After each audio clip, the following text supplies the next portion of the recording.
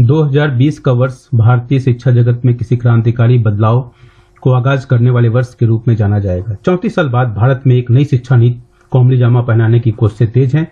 एक ऐसी नीति जिसमें शिक्षा पर खर्च को छह जीडीपी के छह परसेंट तक ले जाने की वकालत की गई। डॉक्टर अंबेडकर कहते थे शिक्षा शेरनी के दूध की तरह है। अगर शिक्षित हो, हो जाओगे तो गुर्राना भी आ जाएगा। मतलब इस दुनिया में सफल होने के लिए स्किल भी आ जाएगी।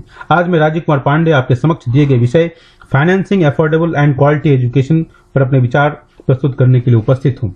इसको तीन भागों के रूप में देखा जा सकता है। पहली बात तो अफोर्डेबल अर्थात सस्ती। क्वालिटी एजुकेशन जो फ्यूचर चैलेंजेस का मुकाबला करने में सक्षम हो और for all means rich middle और लोअर क्लास की नीड्स को पूरा करने वाला हो। अभी जिन विभाजनों की हमने चर्चा की, उसकी पूर्ति कैसे की जाए, ये भारतीय बहुराजनीतिक दलों वाले फेडरल स्ट्रक्चर में एक बहुत बड़ी समस्या है, चुनौती है। किसी भी देश में कार्य को करने के दो सर्वमान्य तरीके हो सकते हैं, सरकारी और गैर सरकारी government and non governmental approach governmental approach की हम बात करें तो डोमेस्टिक और इंटरनेशनल की बात की जा सकती है, और इसके डोमेस्टिक के अंतर्गत हम एक डीआईजी अप्रोच का हम नाम ले सकते हैं और पीसीएस अप्रोच और तीसरा हमारा एनजीओ तो डीआईजी मतलब डायरेक्ट इनिशिएटिव ऑफ़ गवर्नमेंट और पीसीएस मतलब प्राइवेट कॉरपोरेट सपोर्ट की बात हम करते हैं। सरकार सरकार अपने बजट के माध्यम से मनी को एलोकेट करने का काम करती है और समय समय पर अतिरिक्त संसाधन को जुटाने के लिए एजुकेशन सेस सेंट्रल टैक्स के ऊपर जो वर्तमान में दो परसेंट है, के रूप में अतिरिक्त पैसा आवंटित करने का प्रयास करती है।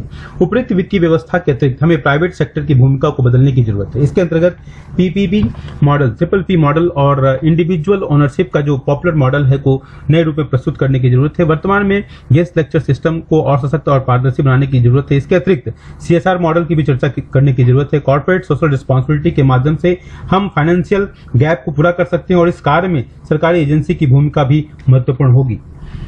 मोबिलाइजेशन ऑफ़ रिसोर्सेज एक बहुत बड़ी चुनौती है। किसी भी देश के लिए सबसे बड़ी चुनौती संसाधनों की व्यवस्था करना होता है। इस संदर्भ में मुझे जापानी नेता की बात याद आती है जो कहते थे resourcelessness is the great resource of Japan अगर हम इंक्लूसिव सोसाइटी हैं तो इस मॉडल को इनकैश करने की ज़रूरत है। इस संदर्भ में शिक्षा के कार्य को लीक से हटकर करने, करना पड़ेगा, क्योंकि सरकारी सहायता जैसे एजुकेशन लोन या पूर्व में डिस्कस किए गए तरीके नाकाफी होंगे। शिक्षा को क्रांति के तरीके से लेने की ज़रूरत है। खासकर ग्रामीण वर्ग, नगरवासी अर्बन स्लम ड्वेलर्स और वनवासी अर्थात ट्राइबल सोसाइटी तक शिक्षा को पहुँचाने के लिए। इस संदर्भ में कम्युनिटी लीडरशिप अप्रोच को विकसित करने की ज़रूरत है और साथ ही साथ सस्टेनेबल सस्टेनेबल क्वालिटी एजुकेशन के लिए गवर्नमेंट फंडिंग को प्रायोरिटाइज करने के लिए इफ़ेक्टिव मैनेजमेंट की ज़रूरत है, जिससे जिससे हम, कि हम सबका साथ, सबका विकास के विचार के साथ सुरक्षित, सशक्त और स्वाभिमानी भारत के स्वप्न को साकार कर सकें। धन्यवाद।